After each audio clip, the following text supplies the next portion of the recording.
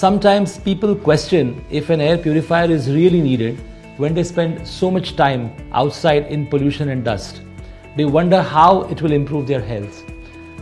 Well, the reason why we purchase an air purifier is because of the long term benefits associated with breathing cleaner air.